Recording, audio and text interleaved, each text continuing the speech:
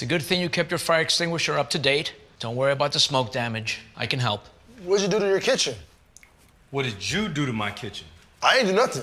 It's easy to. That's not me. I can like he has a beard just like me. You know, like I, I mean the beard is pretty dope. You know, honestly. Are you serious um, right now? That's not me. James, that's you.